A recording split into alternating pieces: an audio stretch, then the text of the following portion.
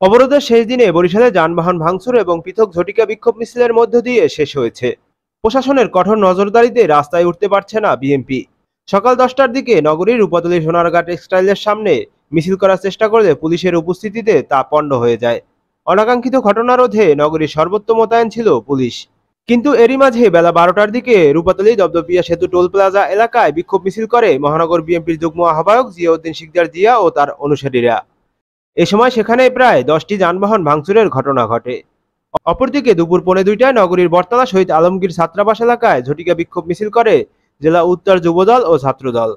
তবে এ বিষয়ে গণমাধ্যমের সাথে কথা বলতে রাজি হননি পুলিশ। ওই যে আমি নিয়ামতিতে আসতেছি।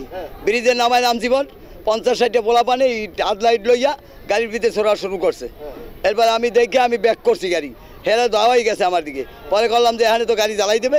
এরপর আমি ওই দলের মধ্যে দিয়া ডাইরেক্ট এই বাউতি বুদ্ধি দিয়ে চলে দিয়ে গাড়ি খুব রাস্তে হয়েছে। আই পড়ছি। গ্লাস ভাঙছে আমার ওই সাইড গ্লাস তিনটা সামনের এই বড় গ্লাস একটা। যাত্রী আহত হয়েছে দুইজন। তাদের পাড়াই দিছি ট্রিটমেন্টে পাড়াই দিছি লোক গেছে লগে। যে কোনো অনাকাঙ্ক্ষিত পরিস্থিতি রোধে নগরীর গুরুত্বপূর্ণ মোড়ে পুলিশ মোতায়েন রয়েছে। এছাড়া পুলিশ সহ অন্যান্য আইন শৃঙ্খলা বাহিনী টহল দিচ্ছে। বিরোধী দলের টানা তিন দিনের অবরোধের শেষ দিনে বরিশাল নগরী থেকে সীমিত পর্যায়ে দূরপাল্লা ও স্থানীয় রুটের যানবাহন চলাচল করেছে। যাত্রী স্বল্পতার কারণে স্থানীয় রুটের লঞ্চও চলেছে কম। নগরীর অভ্যন্তরে কিছু থ্রি হুইলার এবং রিক্সা ও অটোরিক্সা চলেছে। দোকানপাটও খুলেছে স্বাভাবিক দিনের মতো। এদিকে বরিশালের বানারীপাড়ায় নাশকতা সৃষ্টির চেষ্টার অভিযোগে বিএনপি ও অঙ্গ সহযোগী সংগঠনে ছয় নেতাকর্মীকে পাঁচটি ককটেল সহ পুলিশ আটক করেছে।